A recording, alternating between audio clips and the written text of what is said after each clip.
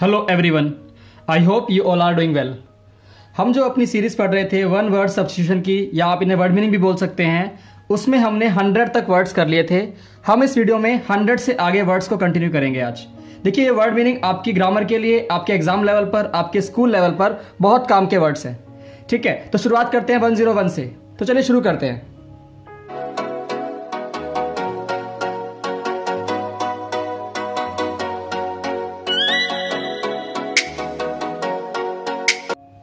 पहला वर्ड हमारे सामने क्या है? गैमेट हमने ग्लटन लास्ट टाइम फिनिश किया था। अगर आपने पिछली वीडियोस नहीं देखी हैं तो आई कार्ड में लिंक आ रहा होगा। आप पूरी प्लेलिस्ट के अंदर हंड्रेड वर्ड्स को अच्छे से समझ के लर्न कर सकते हैं। हमारे पास नेक्स्ट वर्ड था गैमेट इसका मीनिंग क्या होता है? इन डिटेल्स विस्तार में बताना। गैमेट का मीनिंग क्या हो गया? इन डिटेल्स यानी विस्तार में बताना। द कंप्लीट रेंज और स्कोप ऑफ़ समथिंग किसी भी चीज़ के बारे में विस्तार में बताना, उसे हम बोलते हैं इन डिटेल्स है ना? मान लीजिए आपने किसी से बात की और वो आपको जो है सारी बातें इन डिटेल्स बता रहा है तो हमसे बोल सकते हैं गैमेट 102 पे हमारे पास हमने वर्ड लिखा हुआ है जेंट्री जेंट्री का मीनिंग क्या होता है? कुलीन जन जेंट्री माने होता है सभ्य समाज के लोग। इसी को शुद्ध हिंदी में बोलते हैं कुलीन जन सभ्य समाज के लोग। जेंट्री मतलब सभ्य समाज के लोग पीपल ऑफ़ सोशल पोजिशन यानी उनकी पोजिशन सोसाइटी के अंदर बहुत अच्छी जगह पे है। That's why they are called gentry next word हमारे सामने है ग्लिच ग्लिच का मतलब क्या होता है? गड़बड़ हो जाना। देखिए ग्लिच का मतलब हो गया गड़बड़ हो जाना suffer a sudden malfunction और फॉल्ट ठीक है? जैसे मान लीजिए कोई मशीनरी चल रही है और मशीन खराब हो जाती है एकदम से तो आप बोल सकते हैं there is a glitch in the machinery there is a glitch in the machinery suffer a sudden malfunction malfunction का मीनिंग क्या होता है? इसका मतलब होता है गड़बड़ हो जाना। जो चीज़ अच्छे से फ़ंक्शन ना करे, उसे बोलते हैं माल फ़ंक्शन और फॉल्ट तो ये था आपका वर्ड 103 ग्लिच 104 पे एक वर्ड आया है ग्रीन हॉर्न। देखिए, ग्रीन का मतलब क्या होता है? जब कोई पौधा नया नया उगता है तो उसकी उसकी जो पत्तियाँ होती हैं फ्रेश ग्रीन होती हैं, उसकी स्टेम भी ग्रीन होती है। लेकिन जब वो बहुत बड़ा पेड़ बन जाता है तो उसकी स्टेम जो है, वो क्या हो जाती है? वो ब्राउन हो जाती है। यानी वो शुरुआती दौर में है। उसी को बोलते हैं ग्रीन हॉर्न यानी नौसिखिया, यानी मूर्ख इंसान। मूर्ख इन द सेंस वो नया नया है उस फ़ील्ड के अंदर। उसे कोई एक्सपीरियंस नहीं है। A person who is new और to no experience at a particular activity यानी किसी काम में उसको बिल्कुल भी एक्सपीरियंस नहीं है, उसको हम बोलते हैं ग्रीन हॉर्न एग्ज़ाम्पल क्या दिया मैंने आपको? एक नया पौधा और उसकी स्टेम ग्रीन कलर की होती है, क्योंकि उसको कोई एक्सपीरियंस नहीं है दैट्स वाई ठीक है एग्ज़ाम्पल आपको मैं देता हूँ सिर्फ़ इसे याद करने के लिए. ठीक है? नेक्स्ट वर्ड पे आते हैं हम लोग. हाइपोकॉन्ड्रिया हाइपोकॉन्ड्रिया का मीनिंग क्या होता है? रोग भ्रम. कई बार ऐसा आपने नोटिस किया होगा, कुछ लोगों को बीमारी होती भी नहीं है बट दे फील दैट उनको लगता है कि उन्हें वो बीमारी है. ऐसा खासकर जो है, जो आपकी लेडी होती है मतलब 35 40 प्लस की, उनको ये बहुत फील होता है कि उनको कोई बीमारी अगर थोड़ी बहुत भी है तो वो ज़्यादा ज़्यादा उसे मान लेती है कि हमें बीमारी बहुत बड़ी हो चुकी है। उसे बोलते हैं रोग भ्रम। इंग्लिश में इसी को बोलते हैं हाइपोकॉन्ड्रिया हाइपोकॉन्ड्रिया एबनॉर्मल और unnecessary anxiety about one's health अपनी हेल्थ को लेकर अननेसरी एबनॉर्मल असाधारण चिंता होना। उसे बोलते हैं हाइपोकॉन्ड्रिया नेक्स्ट वर्ड देखेंगे आप। Next word is hypocrite hypocrite का मतलब क्या होता है? पाखंडी। वो इंसान जो वैसा है नहीं बट प्रिटेंड कर रहा है। One who pretends to be what he is not pretend माने क्या होता है? दिखावा करना। यानी वो इंसान जैसा है, वैसा दिख नहीं रहा वो। वो दिखावा कर रहा है अच्छा बनने का या बुरा बनने का। यानी उसे बोलते हैं हिपोक्रेट नेक्स्ट वर्ड हमारे सामने है होमिसाइड होमिसाइड का मतलब क्या होता है? देखिए होम का मतलब यहाँ पे जो है वो मानव से है। और साइड मैंने आपको बताया था, हत्या करना। होमिसाइड बोले तो मानव हत्या। The killing of human beings यानी इंसानों को मारने को बोलते हैं होमिसाइड 108 पे वर्ड हमारे सामने है ऑनरेरी ऑनरेरी का मतलब क्या हो गया? अवैतनिक। देखिए, अ माने क्या होता है? नेगेटिव वर्ड वेतन माने क्या होता है आपको? सैलरी मिलना। बिना सैलरी के जो कोई काम किया जाए, उसे बोलते हैं honorary. Work for which no salary is paid जिस काम के लिए कोई सैलरी ना दी जाए। मान लीजिए आपके स्कूल में, आपके कॉलेज में कोई फ़ंक्शन चल रहा है और आपने किसी सेलिब्रिटी को इन्वाइट किया है। सेलिब्रिटी इन द सेंस नेता को या किसी को, जो बहुत फ़ेमस है तो वो आके आपसे कोई पैसे चार्ज नहीं करते हैं। उन्हें जो, वो जो वर्क कर रहे हैं, उसे हम बोलते हैं ऑनररी।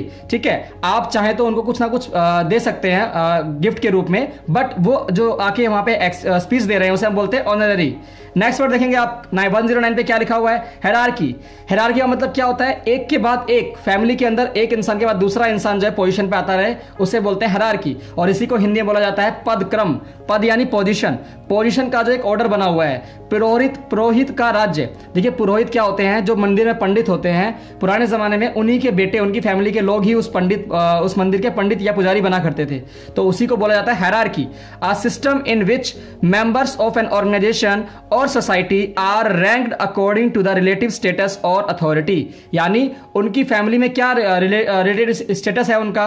यानी एक के बाद एक कौन आने वाला है? उसे हम बोलते हैं हायरार्की वन वन ज़ीरो पे, यानी एक सौ दस हमारा नंबर है, वो क्या है? हॉस्पिटेबल हॉस्पिटेबल का मतलब क्या होता है? मेहमान नवाज़.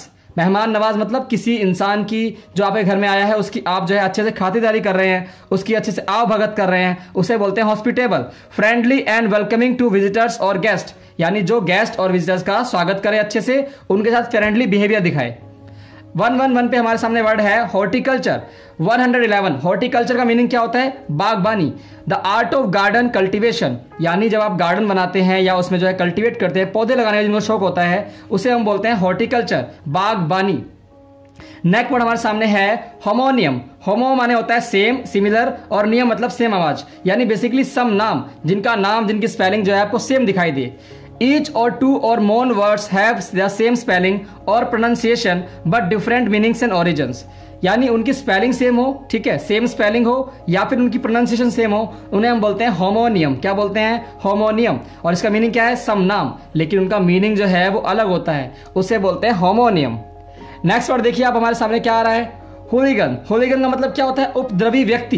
जैसे घर में जो बच्चे होते हैं कई बार, या कहीं पे जो है दंगे चल रहे हैं, दंगे हो रहे हैं तो वहाँ पे कुछ लोग जो है उपद्रव करते हैं। वायलेंट यंग ट्रबल मेकर यानी एक ऐसा इंसान जो थोड़ा जिसकी एज ज़्यादा नहीं है, और वो जो है लोगों के लिए मुसीबत क्रिएट कर रहा है। वायलेंट मतलब हिंसा करके।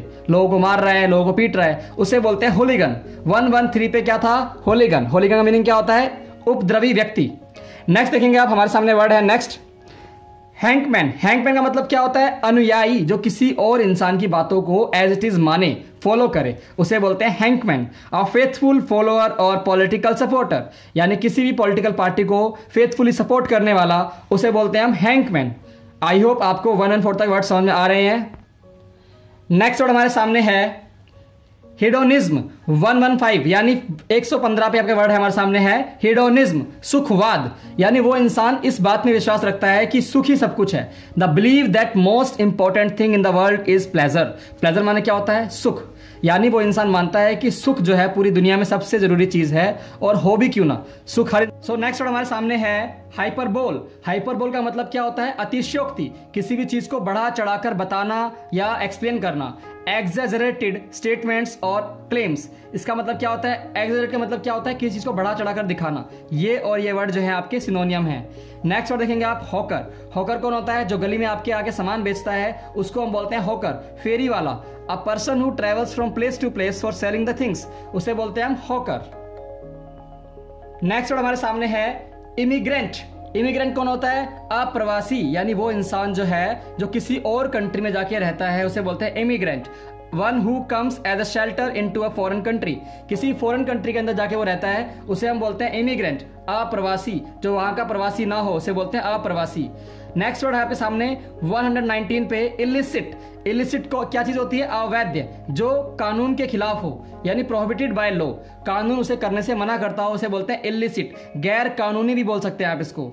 120 वर्ड हमारे सामने है इनफेलिबल इनफेलिबल का मतलब होता है अचूक, यानी जो इंसान कभी गलती ना करे। जो इंसान कभी गलती ना करे, उसे हम बोलते हैं infallible he is a infallible person next word देखिए आप 121 पे इनविंसिबल विंसिबल माने क्या होता है? जिसको आप हरा सके। ठीक है? यहाँ पे क्या लिखा है? इसके इसका मतलब क्या हो जाएगा आपका? जिसे आप ना हरा सके। देखिए विंसिबल क्या होता है? जिसे आप हरा सके।